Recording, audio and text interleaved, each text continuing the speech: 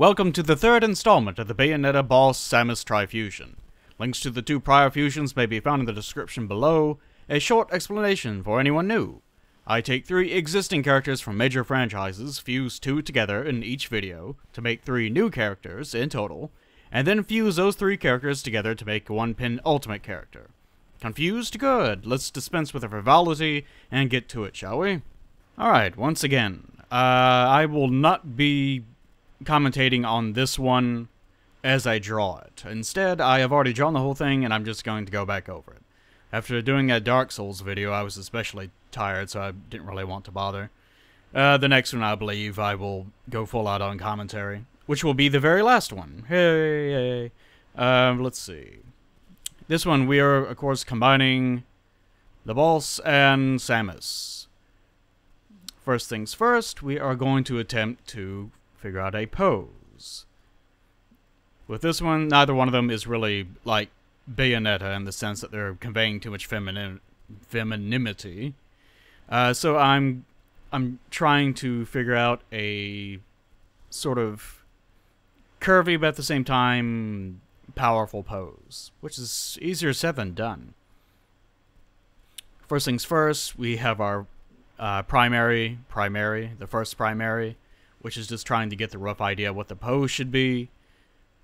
Again, with these first ones, I don't really.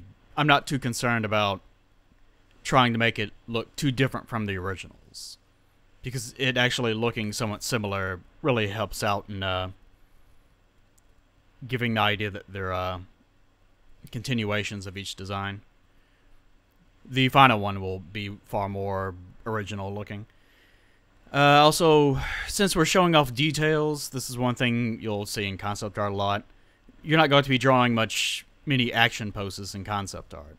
Instead, you will be focusing more on picking a pose that shows off as much detail as you possibly can show. And with this one, I am trying to figure out exactly what sort of details I want to include. At first, you're not really going to commit to anything, nor should you. I think even eventually near the end of the uh, video, once I've almost finished everything, I'm still changing major details. But here, the general idea is I'm trying to figure out how to combine certain elements of both designs. For example, the boss has her big open thing there, which she doesn't have in many cases. And of course, Samus has her big giant pauldron things that don't really make much sense, if you think about it. I don't know why I'm pausing here. Maybe I was masturbating. Who can know? You know, who knows? Uh, oh, okay, I was trying to fetch one of these. Yeah, the basic... Okay. Uh, the, the core problem with any sort of design is trying to pick a theme, trying to make sense of the actual design. Because you can piece together uh, both designs fairly easily, but it's probably not going to make much sense within the context of its own design. Like, say, the boss is from her own universe, and Samus is from her own universe. But what about our new character? Uh, the new character should be someone that looks like they're from their own universe as well. That their own design looks like something that would make sense within the context of their own reality. So whenever you're designing these things, you need to try to pick a general theme behind the design, if that makes sense. With her, with this character who I'm still not completely certain on the name, I think I, I pick a name eventually in the context of this video, but I may not even be using the one that you see in the layer names off to the side there. But with this one, I decided rather than uh, go with just a power suit or going with just a kind of stealth suit, I decided to go with sort of a um, modern military concept. Almost a like what if uh, what if Samus yeah, the helmet is a really overly complex. That little thing, whatever that is. I think it's for holding belts. Um, but I was operating on the context of maybe if, say, Samus, instead of her suit being designed completely like that by the Chozo, um, maybe if there was a real world military, you know, version of it that existed centuries prior, what would it look like? And I kind of ran with that. Uh, here I'm trying to. I think I dropped these. Yeah, I dropped the little collar things right here. I don't stick with that for too long. But again, I'm. This is the third primary layer that I'm going back over. This is more of a detail layer.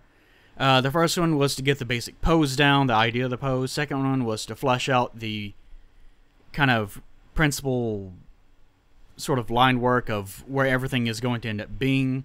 And this one is to try to finalize it, which is very difficult, and this is probably going to be the most time consuming, especially if um, you're not too sure what you're going to end up with.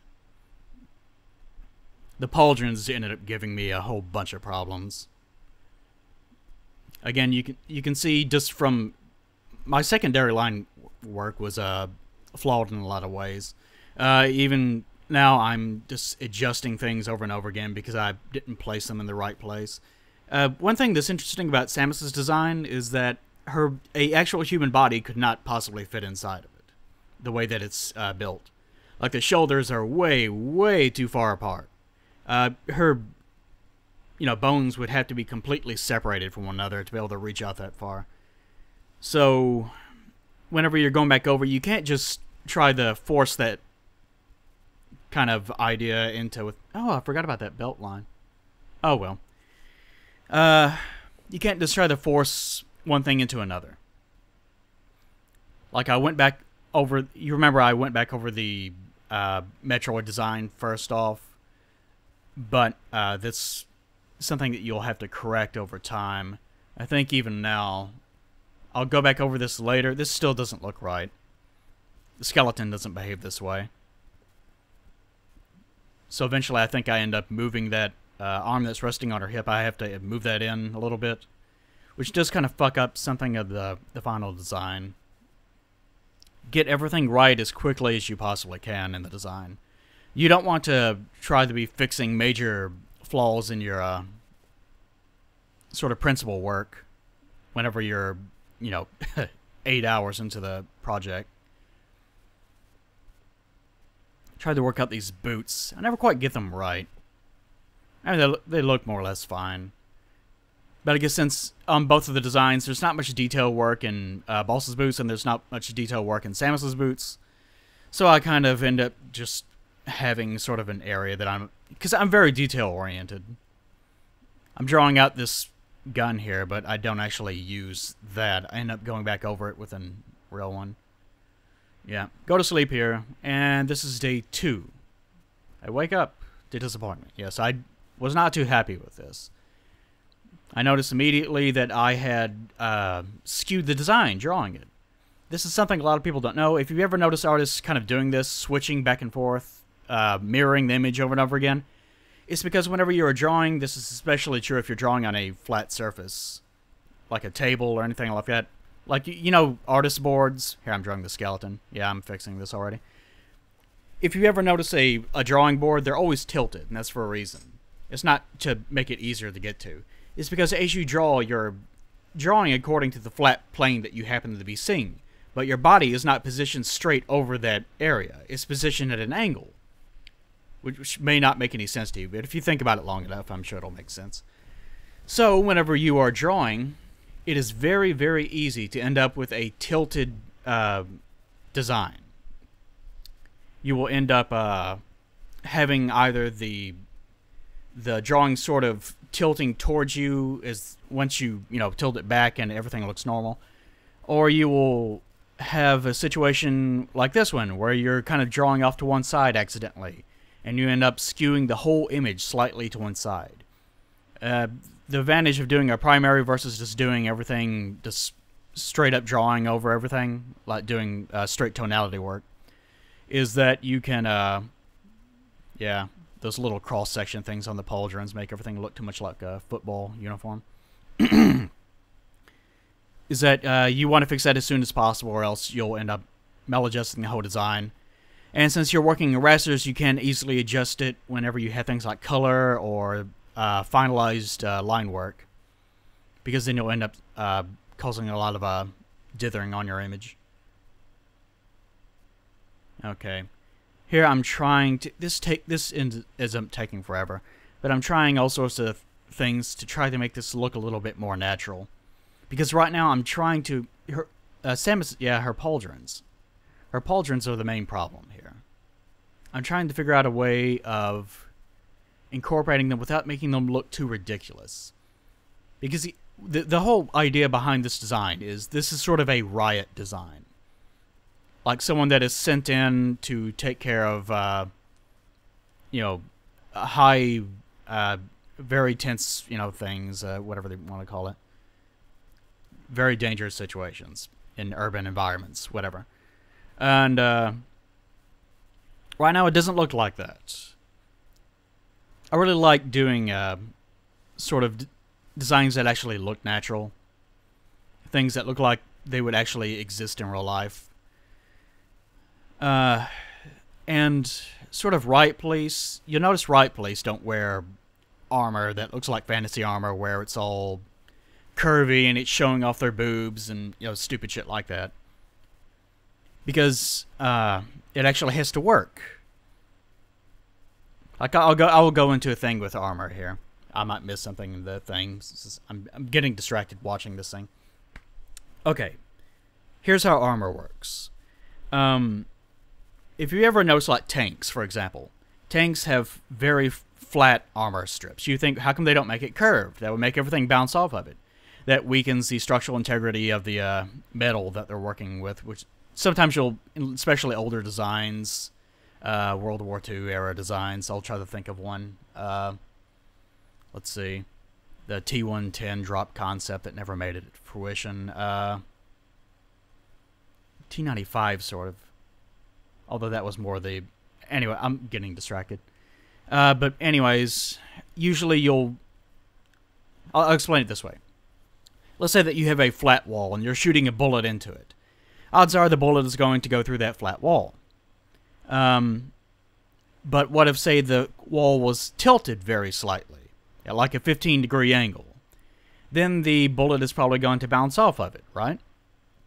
And armor sort of works that way. You have to have the armor be at a slight tilt to uh, what the body body's design is. It has to sort of curve away from the body, which especially on female designs of any sort of armor work, this is especially true in uh, like a uh, armor, medi- medieval armor. Uh, you'll notice that people like to design, you know, high fantasy armors. Is you know, here are their boobs. Look at their boobs; they're so sexy. But that doesn't work because if someone tries to plunge a sword into this person's chest, that stupid boob armor is going to funnel that blade off her boobs right into her sternum. So that's a really fucking stupid way to design armor. So, like say on Riot Armor, uh, you notice that it's always sort of flat looking, but it's also curved slightly away from the body. That's how you design armor. And in this case, that's what I'm trying to do. I'm trying to figure out a way that to make this look like it looks a little bit natural. I'm still having problems with this fucking pauldron. But it's more this more or less is going to be how it ends up looking. Again, her head is tilted. I, I skewed the shit out of this one. It's such a problem with this design. Maybe I was just drawing I was a bit too relaxed, I guess, on this design. Drawing too much to one side. Adding in these elements here trying to get her visor to work correctly. Because it's hard trying to make this both look like a... yeah, I accidentally uh, dropped video. I was using Bandicam and it decided to record on uh, OpenGL mode versus uh, going by a target window. I think I was watching a Star Trek episode at the time, so I ended up just recording footage of Star Trek, which I don't think you want to see. Here I'm starting on the final line work at high resolution, yeah. It's too low. I think the resolution of this one was 2400 by 2400. That is not a good idea. You want to actually be working in something around 8000. You know, that would be best. But unfortunately, uh, the limitations of trying to record this at the same time as working it, even at 2400 by 2400, I was experiencing a lot of slowdown sometimes. If I ever get a better computer, I will be able to actually draw correctly. Putting the face a bit too low, move the face up, dumbass. Thank you. Hmm. Even now, I'm still trying to uh, alter some of the basic designs. Something that you want to do whenever you're um, working like this. Don't uh, just if you have to draw anything that's overlapping on one another, uh, put it to a new layer, uh, and then once you have that, cut out what you don't need on the layer below it, and then merge everything back down. Here, by the way, this is Paint Tool Sai. I've already answered this question before, but people keep asking it for some reason. Even though people keep explaining it in the comments, I've mentioned it twice. I think I've mentioned it in every video, actually. Uh, but it's Paint Tool Sai. Um, in order to draw straight lines like this, just use the Shift key. Hold down Shift and click, and it'll draw from wherever you last click to wherever you have your mouse pointer at. That's how I'm doing my straight lines so quickly. Curved lines, unfortunately, are not as easy. As I've explained before, uh, this version of Paint Tool Sai does not have a circle tool, and it does not have a circle selection tool, so I have to cleverly make my own circle source, which you can see on the side, and then I use that for anything that happens to be curved. It doesn't always work perfectly, though. In order to make a circle, you have to use the shift key to make straight lines like I was talking about, except you also use the home key on your keyboard, which will rotate the canvas default. And that will very, very slowly make a uh, curved line and eventually we'll make a circle. A really terrible looking circle, but a circle nonetheless. Alright, we finally have the helmet done for the most part. Looks somewhat natural. Probably not something an actual soldier would ever use, but whatever. And it does sort of look Metroidy. Of course, uh, the boss doesn't actually wear a helmet, but, you know, whatever, fuck her. She gets a helmet. That's kind of operating the idea that she's more of a classic soldier, so I was going with the idea that this is going to be a classic soldier look. But I'm also kind of putting in uh, fantasy elements. Or not fantasy elements, but things that don't really exist in the real world anymore. Like these fans off the pauldron that you see up top. Uh, that's something that you see in older, you know, like medieval armor things, because if someone is swinging a weapon and it bounces off your shoulder or it misses your shoulder entirely, then you don't want the blade to continue on and uh, strike the side of your head. So they added in those little bitty fans that keep things like that from happening. How nice of them. Uh, but you also don't want them to be so high that you can't see past them as you turn your head, which is why they're usually not that big. Sometimes on video game armors, you'll see... On video game armors, you'll see so many stupid things happening like pauldrons with giant spikes sticking out of them. One, you can't move in something like that. Two, you can't see. Like if you look to the side, what if someone is approaching from your side? They're about to attack you from the side.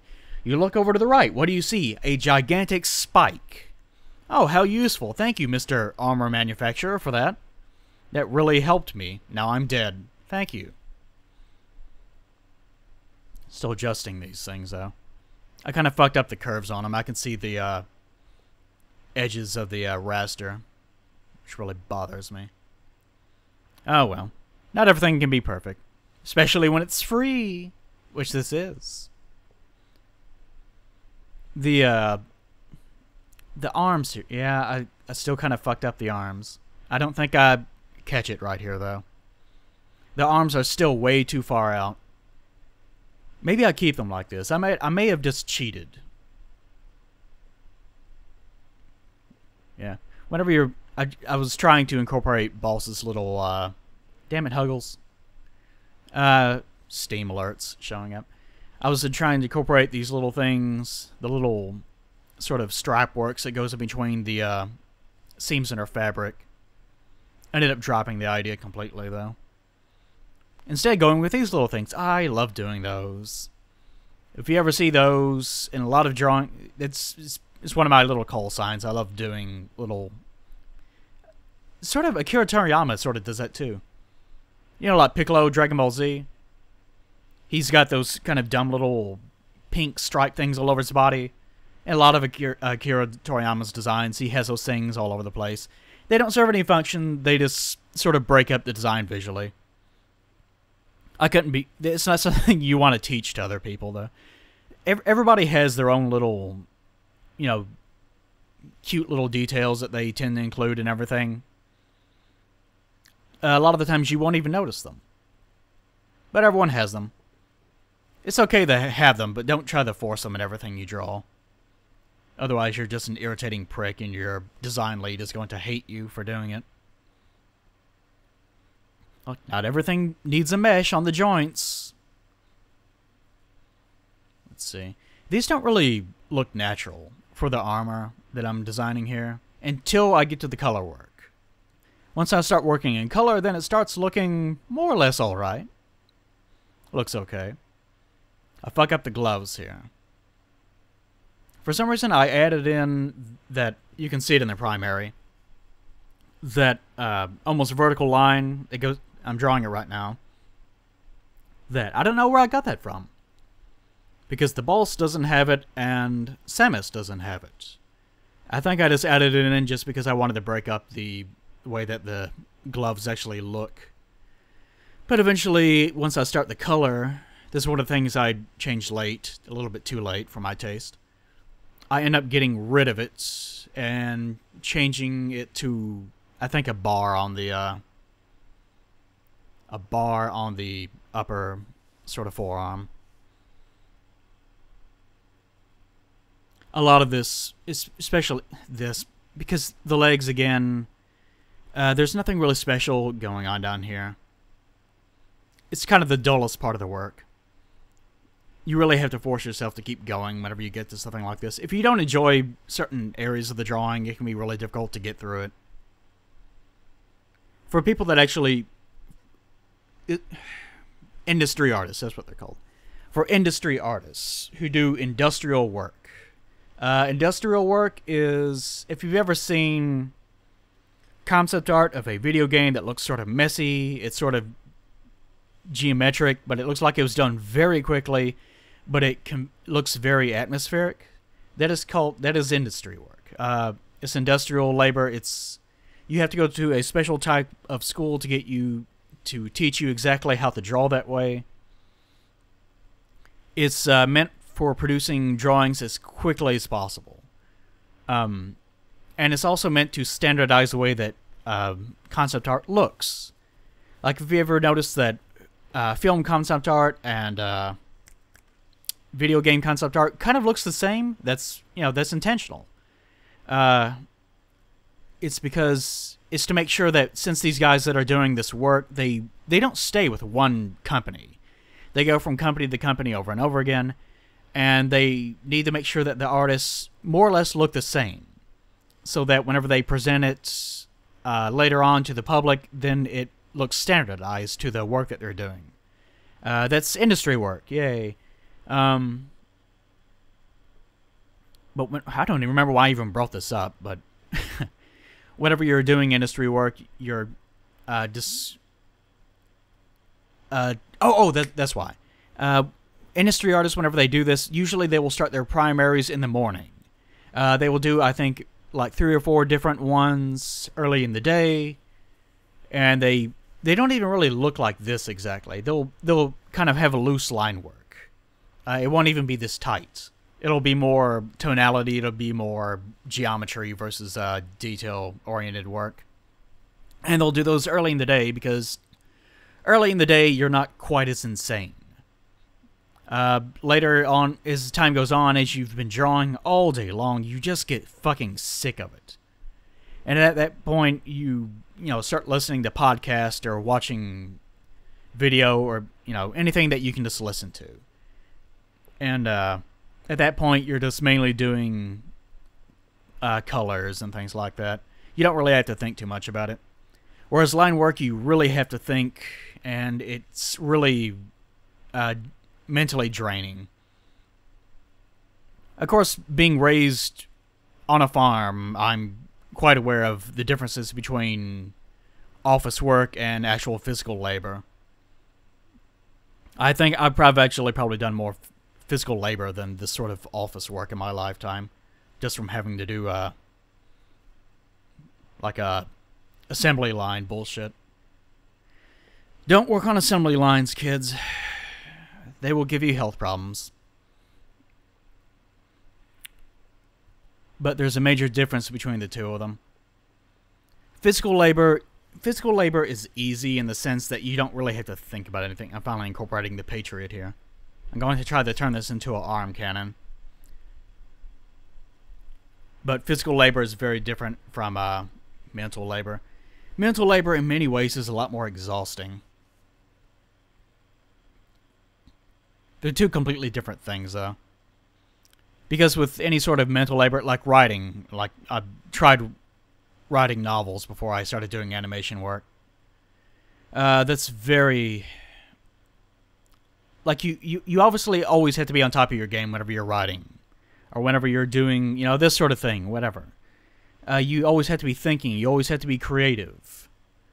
I mean you can't just write and then stop writing and just write garbage for the next five hours and then say oh it's a day and then go back over it. And then the next day you realize oh this was really really awful. There is sort of a primary work in writing though I'll mention that for a second. Whenever you're writing, this is a completely different subject. This is something I would really. I'm going to do a let's gripe about writing one day. Probably not soon, though. But whenever you're doing writing, a lot of the times what you can do is just try to get yourself into a stream of consciousness sort of mode where you're more focused on ideas. Oh, god a problem with me is that I, I, I start thinking about too many things at the same time while I'm commentating here, and I distract myself because I'm trying to say too many things at the same time. Uh, but as whenever you're doing any sort of preliminary writing work, what you want to do is start with a sort of loose skeleton of how everything works. Uh, like, say, you want this character to go, to go through this arc, you want to accomplish you know these certain things and you know so on things like that.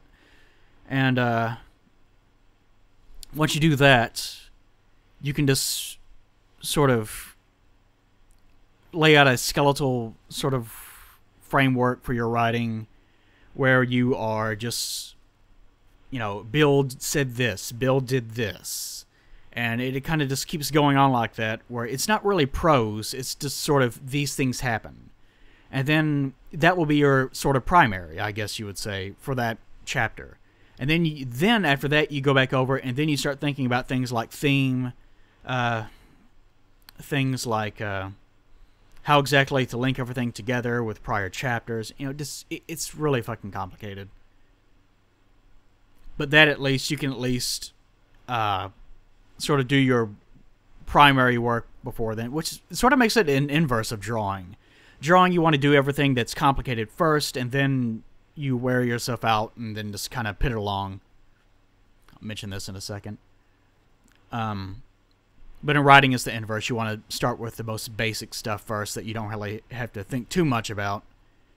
Well actually you want to start with the things that you want to think a lot about and then you want to start then once you actually start the writing then you uh, oh god damn it I'm thinking about too many things trying to name. Yeah. No, none of those are all terrible. Later, yeah. You start with the sort of loose idea, then you start. No, you start with the core concepts, and then you, when you whenever you start writing, then you do the skeleton work, and then whenever you finish the, uh, sort of, you finish that, you go back over it and try to do as much as you can, uh, unifying everything. Okay. And I was going to say about the gun, um, I drew the lines too thick because I was using the uh, shift little line trick, and that makes all the lines look their maximum thickness, whereas when using a tablet, it makes them uh, however much thickness that you're applying the pressure with. So I ended up having to put that to its own layer, use the wand tool to select everything that wasn't there, and then I used the increment tool to bring the selection down so that I could delete a little bit from every area. And that reduced the line thickness of all that since I fucked that up. Okay, now I'm starting the color sort of zoning. Um, visor presents a bit of a problem because it's going over everything else. I think I end up upping the saturation and uh, darkening it and then lowering the opacity. That way I get a nice even blend. Yeah. Okay. Oh, Lord. Guys, I swear, you have... You. I think especially women would have this problem. Anyone with artistic, sort of an uh, artistic mind, anyone with uh, whatever side of the brain it is, right or left, I think it's... I think it's right. I can't remember. But the side that isn't mathematics. If you are cursed with a brain like this, oh, Lord. It is such a chore to try to explain anything to anyone while you're watching something. Because you start thinking about all sorts of things at the same time. And especially if you internalize things, like if you're someone that doesn't really like if if you're someone that's very introspective and you don't really communicate much with other people, then you end up thinking mostly to yourself all the time, so you don't really need to explain things. The brain takes mental shortcuts in all things. Like, for instance, if you take a word and then jumble the letters and try. You've probably seen this online before, where you'll, you'll read a whole paragraph, but it's a bunch of jumbled letters, but, but you still see the words because your brain is taking mental shortcuts over and over again. For someone that internalizes things, for someone, usually this is true of artistic people, your brain does this a lot. So you end up sidetracking yourself because you're trying to say something in as clear a fashion as possible, but at the same time, your brain is trying to take shortcuts you don't want it to take. And you're also thinking about two or three different things at the same time. Yeah, colors will change. I don't keep this. Don't worry, guys. I do keep the hair color and most of the, the face color, although it changes a little bit after I'm doing the shading. But I say that's especially true with women because women tend to, uh, it's not emotional versus rational, which is sort of the cliche that's not really true. It's more cyclical thinking versus linear thinking, which may sound like the same thing to you, but it is most assuredly not. Uh, whenever you're doing your color, make sure that you're doing it in a dark color. That way you don't miss anything. You notice all these little bitty white spots, especially if you're doing wand tool stuff. Yep. Then afterwards you can just, uh... Uh, shit. Stop thinking, Eli. Uh, you can uh, just go back over it with the solid color that you wanted to use to begin with. So, yeah, ta-da. Okay. But women tend to think more in terms of things that, how things relate to one another. Which is why whenever, you know, your girlfriend or you, if you're watching this and you are a girlfriend, yeah, whatever, uh, will start complaining about their mind going a mile a minute. Or uh, they can't get anything done because they, or they lie awake in, in bed all night because they start thinking about one thing and then they start thinking about another. That's because women and you know some guys and so on tend to think cyclically versus linearly, which means they think in terms of their brain organizes things in terms of their relationship with other things. Which, guys, if you've ever had problems with uh, your girlfriend bringing things up that happened years and years ago that, you know, don't seem to be related to the conversation at all, it's because their brain pulled it up. It was a little cue card, and their brain said, hey, remember this? This is related to this. Whereas a guy, or you know, just some women they don't really think this way, of course, uh, will tend to think in a bit more of a uh, linear fashion. In it's this thing, and I remember this happened in this sequence of events. And, yeah, it it just kind of goes on like that. Smarter people than I have probably written books on the matter. It's really interesting, though. Okay, you see here, I am fucking with this color palette. Uh, Balsa's pure white and Samus's very bright orange and red don't go well together, so I ended up pulling up her old model sheets. And I don't know which which game is this from. Uh, 2007. Okay, one of the Metroid Primes, 2007. I ended up going with this color palette. And adding in a little bit of white to try to unify it with... See, these gloves. Yeah, you fucked it up early, buddy. I fucked up the gloves early, so I'm going to have to go back and change this. Anyways, I used that 2007 color palette, which looks really nice. I actually, really, I, I really like uh, subdued uh, tones. I don't like bright colors. I'm a very autumn person. Mm. If you ever see me on the streets, I'm undoubtedly in autumn. But I end up using that. Uh, the the fact that it's gray really works well with uh, Boss's color scheme as well. Balls's. By the way, Boss Balls. That's how I say them. Just a heads up. See, I finally changed this. Add in the black. Come on, add in. It's a belt. It's a belt, asshole. Put it in. Ugh. I must do it later. But these little glowy things sort of make a little bit more sense now. Because now we're moving away from it being a sort of riot officer design, and it looks a bit more like a uh, sort of a futuristic sort of thing going on. Uh, don't ask me what the hell those lights, what purpose those serve. Not everything can be perfect, kids. The lights don't make much sense. Because, you know, they, if you're trying to do anything stealth related, oh, what's that in the distance? It looks like some asshole with giant glowing pauldrons. Well, better shoot them, and they're dead. Yep. For some reason, I'm really enamored with the, uh, you see the, on her arms, those color bands, those sort of, uh, sepia colored uh, bands on the side of her. I love that for some reason. I don't know, just doing color work, zoning things out is one of the most satisfying things you can do. I love doing it. Doing a black hair ended up. Uh, for some reason, all of uh, Samus's designs, all, all of her guns are sort of a green color. It's really weird. But I, I end up uh, going back and uh, changing that. Oh, look what I'm doing here. I got so used to it. Yep, it's not Bayonetta. No, she's not even in this one. Mm-mm. See, I got so used to doing that on all the other designs, I just started doing it. Because Bayonetta's uh, gun has those weird, you know, sort of gem-looking things all over the place. Which is good news for me on this design, which means I don't have to do so much detail work. Because Bayonetta's gun has an insane amount of, uh, like, lines and color and everything going all over the place.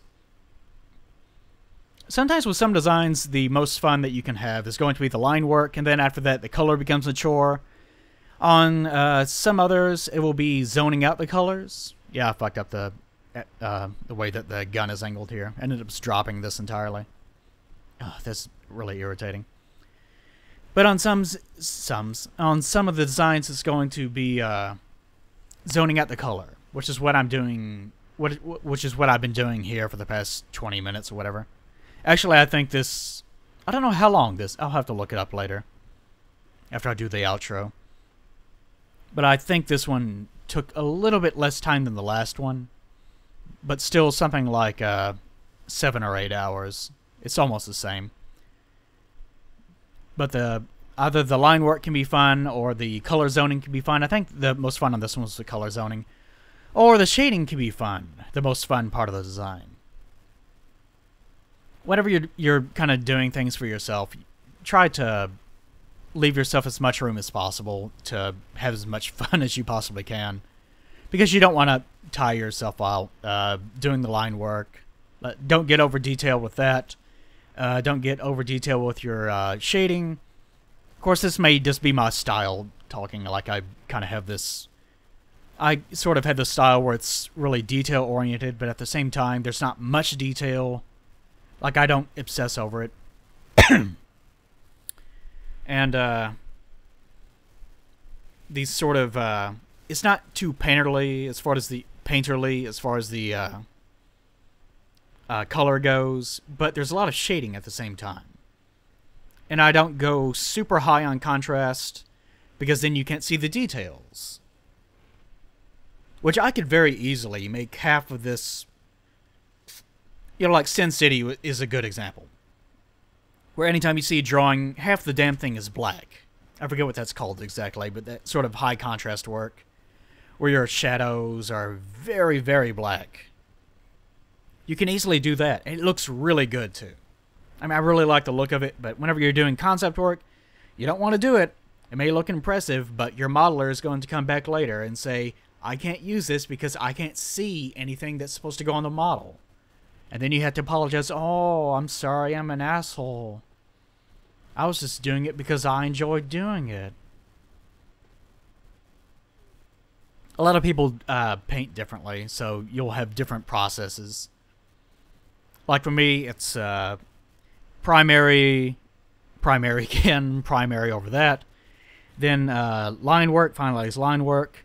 Then color base. Then uh, what I'm doing here, shading, followed by uh, working up tonality using a shine layer, which you're really not supposed to do, but I do anyways. And then using an extra layer to go back over and add detail work. A lot of other people will not even use line work. They'll just start drawing with uh, tones. Like they'll do a grayscale image and then they'll go back over it with color.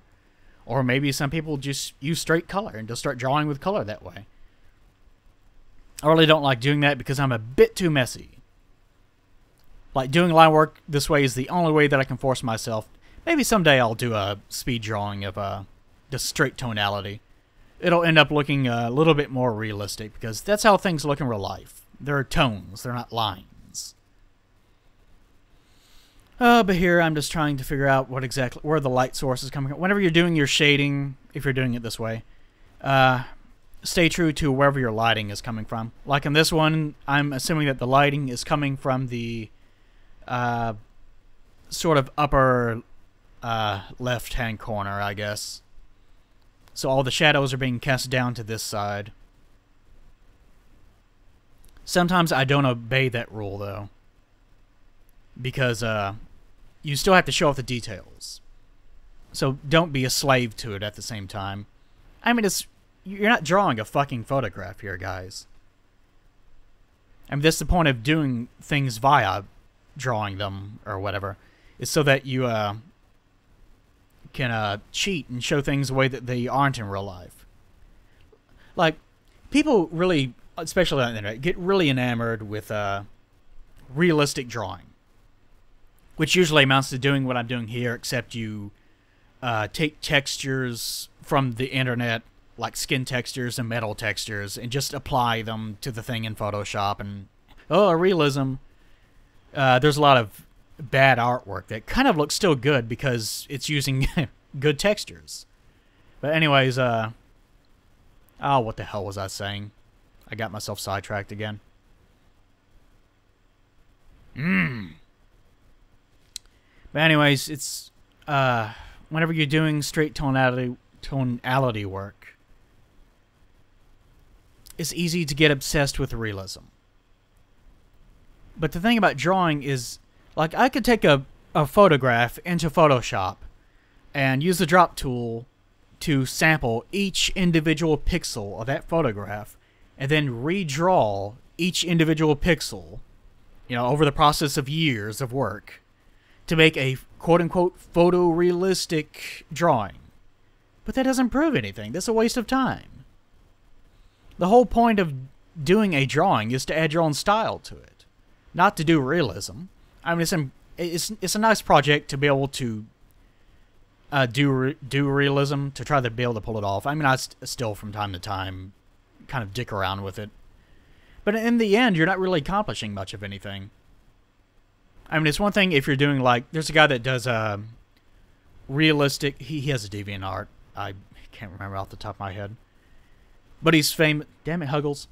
But uh, he's famous for like those Teenage Mutant Ninja Turtle things where they look realistic. He drew April. He drew all the turtles. He drew Splinter. He drew Shredder. You've probably seen them before on the internet. And uh, it's one thing if you're doing things like that, where it's something that you see in sort of a cartoon thing, and you want to see them portrayed realistically. That's fine. But if you're doing things like I'm going to draw a uh, realistic landscape, or I'm going to draw uh, you know, the president of the United States, realistically, you know, why? You know, why are you even wasting your time? Just take a, a fucking photograph. I mean, if you want something realistic that is already real, just take a photograph. Especially since most of the people that do these quote unquote realistic uh, drawings are using uh, photographs as their base, anyways. They're either doing matte paintings or they are uh, at least uh, heavily sampling an original photograph. So, what's the point? Anyways, that's my personal thoughts on that. I'm sure there are plenty of people that are absolutely obsessed with realism. It's especially a problem in the United States, North America in general, because uh, whenever uh, whenever everyone was coming over from Europe, especially, uh, Europe was going through this really big. Uh, I can't even remember the ages anymore. I haven't had the remember them since college. But uh, they were going through sort of, you know, they were going to, through the Victorian age, and uh, Baroque was still, you know, the heritage of Baroque and you know its an- ancestors and so on, were still very much in power, and people were obsessed with realism, because remember there were no photographs. So whenever you wanted to portray something, you wanted to portray it as realistically as possible. Because the idea was that the epitome of, oh, yay, starting the uh, shine work. Because the, the, the epitome of art was trying to get as close to the original as possible. That's a very, uh, a very old concept. Goes as far back as like Socrates and Aristotle and things like that. Old Greco-Roman bullshit where they were obsessed with uh, truth and they considered being able to portray, which is up, you know, you see like uh, ancient sculptures. They look really damn realistic, and that's because they were trying to get as close to the actual human body as possible, because they consider it to be a high form of uh, art. Although uh, I shouldn't call it art, because the modern conception is this art? Is it art that didn't exist until very, very recently? Like that's a modern invention. uh, that problem did not exist until kind of the late 1800s. Then it became a huge fucking problem. I think my thesis paper in uh, in college was she wanted us to uh, write what is art. To you know that was our final thing. You need to write a paper on what art actually is. Which the the point of that class is not to prove prove what art is. It's to try to present a good argument. You know, you can say that art is you know dog poop, but you know as long as you present a really good argument as for why it's dog poop, I mean you'll still get an A in the course. You're not trying to prove it. You're just trying to present a very good argument for it. But anyways, my final thing was I hate the word arts because oh, th- this is such a, this is another let's gripe about art. That that's something I'll eventually have to do. Uh, but the idea is that the this modern conception of is this art? Is it art? It's it's usually code for am I impressed by the thing that I'm looking at, and that's all people know. If you ever sat in a uh, like a an art theory class in college it will not take you long to be absolutely horrified by the opinions of everyone around you. People have a lot of fucking stupid opinions. Me, one of them, haha. but the problem with a lot of these things is that people have this internalized conception of what art is, but they never really think about it in term logically. Like they never actually sit down and think about the rules that they're thinking thinking up for themselves. So whenever they're forced to try to prove it in a public setting, it absolutely falls apart and it is a train wreck. And a lot of it is because whenever people are designing things, they're not thinking about it in terms of arts. Like if you're doing a graphic design of, you know, bathroom stall people, you know, stick figures, you're not doing it to try to this is the, art. I'm do, I'm holding out my hand in a flourishing fashion by the way. Oh, art or to find the artistic meaning of how people poop and genders. No, they they're, they're just trying to portray it in a way that everyone can understand. Oh, this is a guy and this is a girl, and that's it. That's all they give a shit about. And a lot of times, people are drawing a picture because they want to make a political statement, and that's it.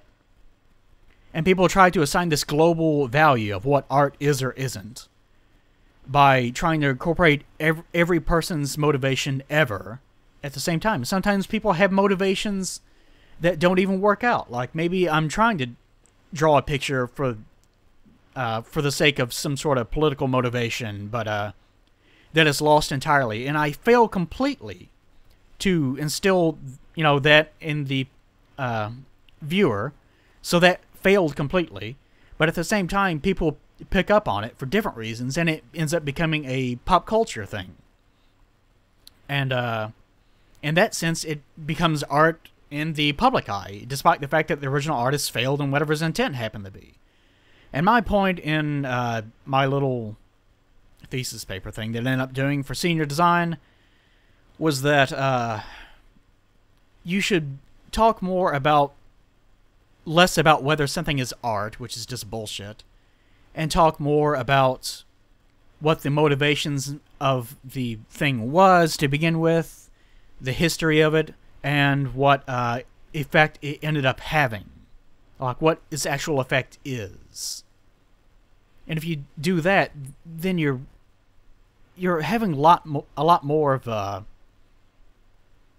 a lot more success talking about whatever it is that you're talking about versus just being a dick and saying it's art. That's why I hate the word art.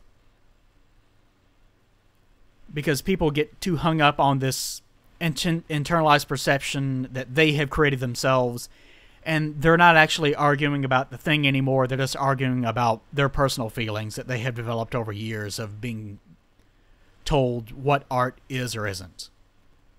Art is a really fascinating thing that is a cultural creation that has no basic definition because people learn it as they age because they're pointed to something and they say and someone says to them, This is art. And as a little kid, that doesn't mean anything to them. So they just memorize various things, and usually it's something like realism. Like, this is realistic, so it has to be art. So a lot of people grow up, in America especially, being told, oh, this is high art because it's being portrayed as real- realistically as possible. So they ended up with a distorted worldview of the success of something based on uh, how realistic it ends up being, which isn't the case if you want to be if you want to have a good conversation about something, just think about what its impact on you personally is, and then talk about that. Because that's where the value of any sort of art is. It's in your impact on video's over by the way. It's on the impact that it has on you as a person. Okay. Okay, uh final thoughts on this design. Actually got through the whole video talking. Isn't that amazing? My voice does not feel good right now. I probably won't be able to talk for quite a while. Alright, final thoughts on this design. I actually like this one quite a lot. I kind of imagine that, again, people are she's not sexy enough, draw booby. No, I, I don't do that.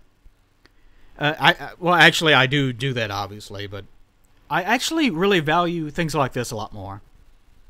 It's probably because, I, I don't know, it's a weird duality with me sort whenever it comes to comedy, I like to focus on sexuality and things like that because I find it kind of funny. But when it comes to actually designing things, I like to focus more on things like this. Like if something, if I consider something to be fun, I guess I'll start playing with uh, sexuality and things like that. But whenever it comes to actually something that's serious, I'll get a lot more detail oriented and make things a lot more realistic looking, more functional. Functional because you might be complaining, oh, you do realism. Uh. No, I mean, it's fine to have things that are fun. But at the same time, when it comes to design, that's just, that just happens to be how I design. I design for functionality, but at the same time, I appreciate uh, a lack of realism in some ways. I know, it's, the thing about any form of uh, opinion in life is that it's not as easy as just writing it down in a sentence. It's give and take with all things. But anyways, uh, that's what gets politicians in the trouble all the time. The color palette on this actually worked out pretty well. I think it's actually it's probably evoking a bit more of Samus than I want. Because again, uh, the boss actually doesn't have much going for aside from the fact that it's a stealth suit. But that's not coming through much because, again, metal meets cloth. What do you do with it? You can't do much of anything with it. But actually, it's more. I'm not conveying too many of the details of Balls's design, Balls' design, Balls, so much as I'm trying to capture the spirit of her. because she is a hardened veteran. She's a soldier, and I'm kind of reducing Samus's design into that. And I think also the you don't see much of the face in this one, obviously, but I think uh, there's a bit more of uh, the joy. Maybe I should just call her the joy. Uh, that's her prior name before taking the name of the boss, by the way. Um, there's probably a bit more of her in the face on this one than there is uh, as far as uh, whatever her Samus's Samus's design is. Because Samus to me doesn't really have that much of an interesting face. She just she's just kind of generic. Like Bayonetta also has a very pretty face, but it's not stereotypical. She, she her face is very angular and it's very it's very distinctive of her. Whereas Samus, it's like they just took off her mask and it's like ah, this she's she's a supermodel, she's pretty, whatever, and that was the end of it. I like uh, faces that have a bit of distinctiveness to them. It's it's difficult to get a face, especially a feminine face, that looks distinctive but at the same time is appealing. Because it's really easy to make a very angular, very ugly face, but it's kind of difficult to make something that looks sort of atypical as far as beauty goes, but at the same time does look beautiful in its own right. Uh, with her, I think I kind of pulled it off more or less. The final combination of all three of these is going to be... It's going to be a problem, but I think it's also going to be fun. Now that I've said that, it, pray, it may end up going horribly wrong. Hmm. A couple of final things on this. The gun, it doesn't look like she can actually bend her elbow using this gun. While I was doing it, I was kind of imagining that the parts that are kind of attached to her upper arm would actually be sliding down into the rest of the gun, but something like this would never work in real life. I mean, the idea of a gun that slides onto your arm, it's it's a cute idea, but it's not really functional. Both because you can't fit many components inside of it, uh, and because it's probably not a good idea to have a gun welded onto your arm all the time. Because if you need to quickly interact with anything, or if you need to drop the gun, or something like that, or maybe you need to swing your wrist to one side to gain even more flexibility in your aim, you can't do it because there's a gun welded to your forearm. You don't do that. So, anyways. Uh, the final design coming up will be a combination of Bayonetta, the boss, and Samus Aran. And actually, it's not going to be a combination of those three. Uh, it's actually going to be a combination of these three, which will be uh, whatever their names are. Aranetta, I think, was one, and Bossanetta, and whatever this one's name is. You'll find out by the name by the end of the thing. I actually came up with a really good one, but I was thinking about saving it for the very last one, which may or may not come as a surprise. I forget what I was calling this one in the video, but you know, whatever. We'll find out later. Alright guys, I will see you in the final video. These are my final thoughts, and my voice is very tired. Time to go kill myself, and probably feed the cats and the chickens, because I probably haven't done that yet. Okay, see you then.